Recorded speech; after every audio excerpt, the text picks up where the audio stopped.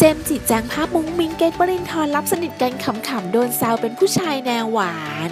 เป็นพระเอกหนุ่มหล่อขวัญใจสาวๆแดนประดิษฐ์จ้าสำหนุ่มเจมส์จิรายุ ล่าสุดแอบรู้มาว่าหนุ่มเจมส์ได้ตำแหน่งทูตสันทวไมตรีของกระทรวงต่างประเทศญี่ปุ่นค่ะ มีโอกาสเจอตัวหนุ่มเจมส์จิที่งาน oppo r9s back edition ค่ะ โดยหนุ่มเจมส์ได้ออกมาให้สัมภาษณ์เขารู้สึกปลื้มใจค่ะ ที่ได้รับตำแหน่งทูตสันทวไมตรี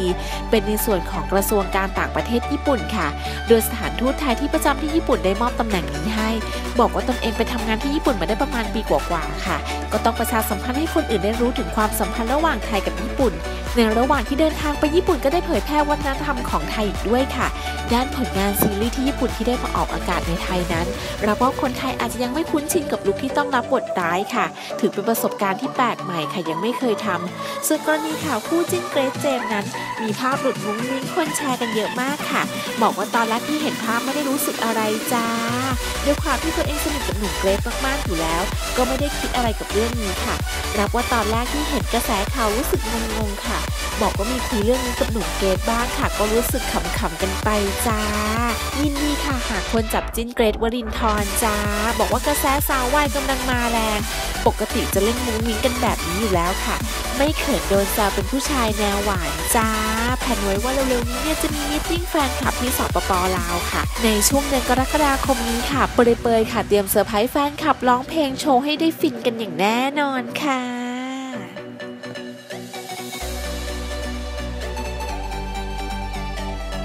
อ่าก็ได้มีโอกาสรับตำแหน่งทูตสันทวัฒน์ไมตรีครับ ก็ต้องอ่าต้องขอบคุณก่อนเลยครับอันดับแรกก็เป็นกระทรวงการต่างประเทศของญี่ปุ่น แล้วก็สถานทูตไทยที่ประจำอยู่ที่ญี่ปุ่นนะครับผมและเขาก็ได้มอบตำแหน่งอันนี้ให้กับเราก็คือจริงๆแล้วผมไปทำงานที่ญี่ปุ่นมาประมาณ2ปีกว่าครับอย่างที่ทุกคนรู้กันอะไรเงี้ยแล้วคนก็ เขาก็ามาในครั้งนี้ครับก็ประชาสัมพันธ์ให้ทุกคนได้รู้กันด้วยนะครับ ว่าตอนนี้ไทยกับญี่ปุ่นมีความสัมพันธ์ 130 ปีแล้วครับผมแล้วผมก็ได้เดินทางไปทางญี่ปุ่นไปทำงานญี่ปุ่นก็ได้เผยแพร่ในวัฒนธรรมหรือว่าสิ่งดีๆของไทยให้คนญี่ปุ่นได้รับรู้ แล้วก็มาเผยแพร่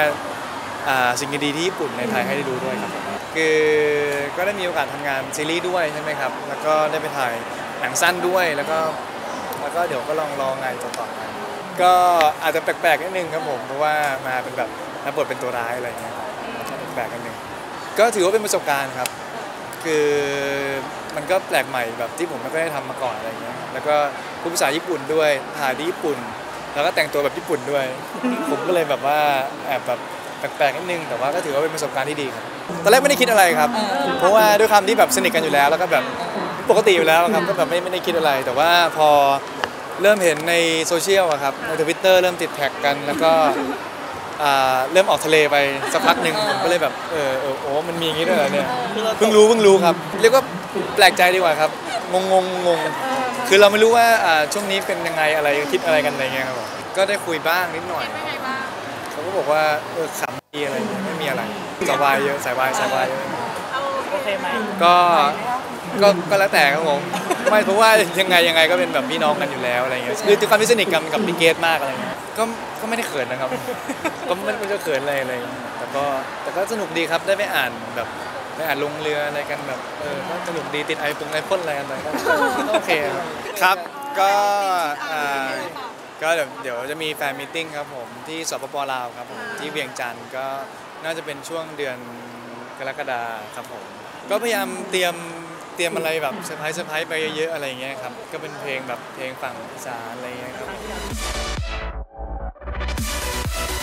สำหรับแฟนๆรายการคลิกข่าวบันเทิงคนไหนที่อยากให้ส้มทราบตามติดข่าวทุกประเด็นเด็ดของศิลปินดาราที่คุณผู้ชมชื่นชอบ ก็สามารถคอมเมนต์มาได้ค่ะรับรองว่าส้มทราบจะไปตามติดทุกประเด็นข่าวข้าถึงคนในแวดวงการบันเทิงให้คุณผู้ชมได้อัปเดตกันอย่างแน่นอนค่ะสำหรับวันนี้เนี่ยส้มทราบบ๊ายบายไปก่อนค่ะแล้วเจอกันใหม่นะจ๊ะ